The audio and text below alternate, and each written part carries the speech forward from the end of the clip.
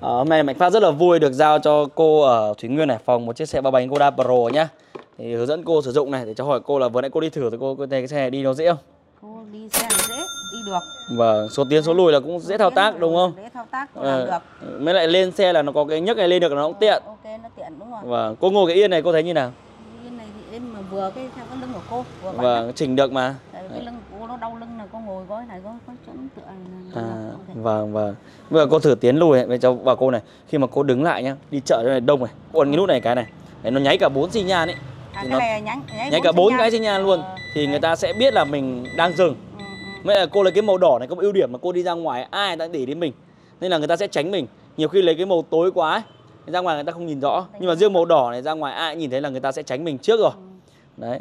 Thì ờ, bây giờ số lùi này. Đây cô ga thử xem nào. Bóp phanh à ấn nút P trước, ấn nút P. trước. ấn ấn nút đây ấn ấn chưa Chưa, đây ấn nút này, đây vẫn đang chữ P. Vâng, đây cô ga thử đi. à nếu mà p là nó nó là ở đây Vâng, đấy cô ấn thử đi. Đấy cô ga thử đi. Rồi. Đây. Cô lái siêu ấy. Cô chưa lái xe ba bánh bao giờ đúng không? chưa nhưng mà cô đi hai bánh rồi À, à, cô là chưa lái xe ba bánh bao giờ mọi người nhé Nhưng mà cô lái ờ, rất là siêu đấy Bởi vì là cô hiểu ấy. Cô ngồi cô cứ thả lỏng lưng ra lái nó nhàn đúng không? Cứ tựa lưng đây lái nó nhàn. Cô đi ra đường được không? cô. Nhưng mà ra này hơi nắng quá. Cô cua tròn lại xem nào. Cô, cô cua được không? Thì cháu đứng ra đây nhé kệ kệ cô cô Đây cô cô cua đây cô xe bốn bánh rồi. À, à cua đi cua vừa đấy vừa đấy vừa đấy. Vừa vừa vừa vừa vừa vừa Lúc đầu là cô không đồng ý cho mình quay video đâu Nhưng mình bảo là quay lên để cho ờ, các bác các cô không có điều kiện qua Thì xem được video là biết là xe ba bánh nó dễ đây lái là cô cũng ờ, Cô thử phóng lên đây được không? À nhưng mà nó là cô, lên đi, cháu cô cháu đỡ cho.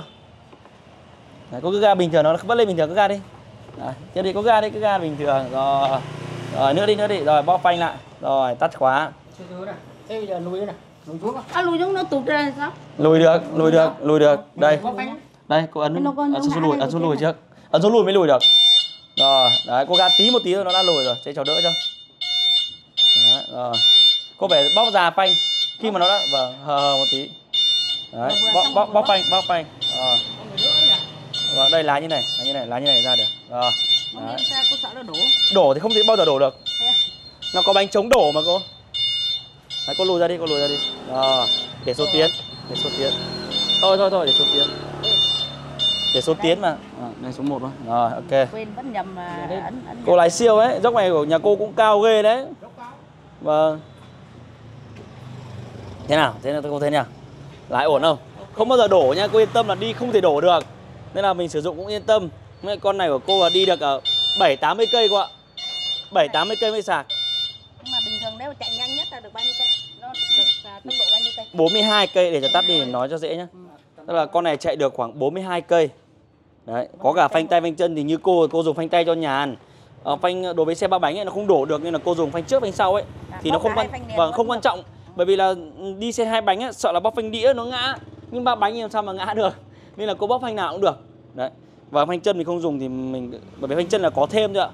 Chân này để cái này để không cái chân cô không đè vào cô để nhẹ nhẹ này cũng là cái chỗ gác chân của mình. Vâng vâng được. Là cái chân của cô nó cứng mà cô để quặt vào đây là không được. Này, này đấy vâng vâng vâng.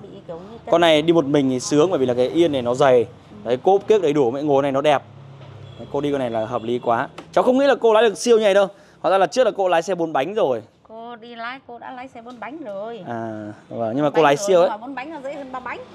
Vâng. Bánh nó dễ nó cân hơn. Nó cân hơn. Nhưng mà nếu mà mà mà để mà cái vòng cua nó hẹp ấy những cái đường hẹp như này thì ba bánh cô sẽ đi dễ hơn. Nhưng cô thấy không? Vừa nãy cô đi cái đường bé này cô cua một vòng không không phải lùi. Bốn bánh của cô nó cua nó cái gọn gọn gọn, gọn vòng cua mà cô chạy thì nó ga còn nếu mà cô mà không chạy là cô bỏ ga ra là nó đỗ ờ cái xe cô rất là dễ à cái xe nhà trọng có bán mà. Ừ. Nó là hệ thống phanh điện Thế tức là không ga nó tự phanh.